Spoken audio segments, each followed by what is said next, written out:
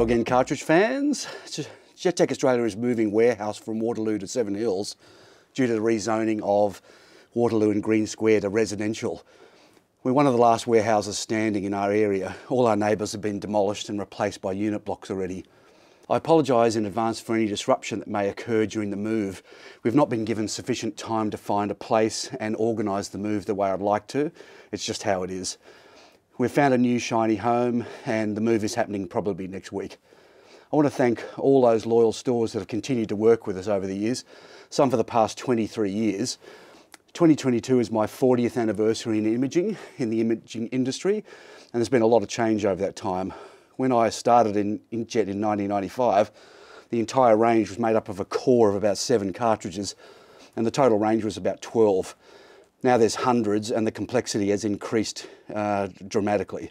The challenge we all face at present is the increased amount and rate of firmware updates and growing competition from online cheap web online stores. We can't control that, however we can play off that issue with fast responses to these updates and servicing customers better. Doing what others can't or won't do is our advantage. Being informed and acting on the information is key. Jet Tec has been lucky in that we're usually first to notify our customers when updates occur and first to come up with a solution, either rechipping or reprogramming chips. I think we've been first now for the past five years, and in some cases have been months ahead of the competition.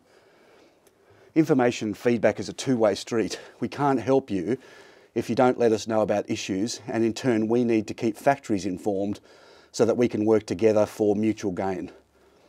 I look forward to working with you on the other side of this transition to the new warehouse. And to those customers we have lost along the way, for whatever reason, we'd love to work with you again. My loyalty has always been with the store owners and putting their interests first. It's just common sense. If the store does well, then we do well. It's pretty simple. The flavour or wrap of the store displays on the front door is not relevant to us. Store profitability and happiness is, and it's the priority. If you're not in business, then neither are we. That policy has seen us screwed over many times by various management over the years and by some store owners, but has also given us loyal customers that want to work together for growth. We're all about a win-win long-term growth, something sadly others don't follow, they're just chasing the short-term dollar.